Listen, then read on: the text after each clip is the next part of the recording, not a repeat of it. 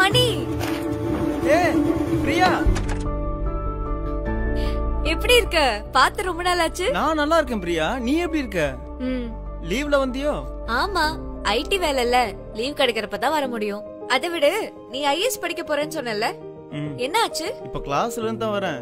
ஆனா சென்னை மாதிரி ஒரு இடத்துல போய் படிக்கணும் பிரியா. ஸ்கூல் டாப்பர் காலேஜ்ல நல்ல மார்க் எடுத்திருக்கல மெட்ராஸ்ல கோச்சிங் சேரலாம்ல. அங்கெல்லாம் போய் தங்கி படிக்கணும்னா பணம் வேணும். அட்லீஸ்ட் என்ன பாத்துக்கிறதுக்காச்சும் பணம் வேணும்ல.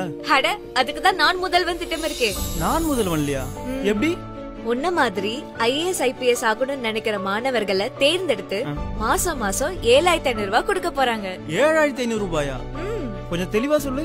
நம்ம முதலமைச்சர் ஸ்டாலின் ஐயா நான் முதல்வன் திட்டம் மூலமா தமிழ்நாட்டுல ஐஏஎஸ் ஐபிஎஸ் ப்ரிப்பேர் பண்ற மாணவர்கள்ல ஆயிரம் பேரை செலக்ட் பண்ணி மாசம் மாசம் ஏழாயிரத்தி ஐநூறு ரூபான்னு பத்து மாசத்துக்கு ஊக்கத்தொகையா கொடுக்க போறாங்க. அட சூப்பரு. அந்த ஆயிரம் பேர்ல நான் எப்படி செலக்ட் ஆகுறது? இந்த ஆயிரம் பேர்ல செலக்ட் ஆகுறதுக்கு ஒரு எக்ஸாம் நடத்த போறாங்க. W W W dot Naan Mudhalvan dot TN dot GOV dot இன்ங்கிற வெப்சைட்ல போய் ரெஜிஸ்டர் பண்ணு. இப்பவே பண்றேன்.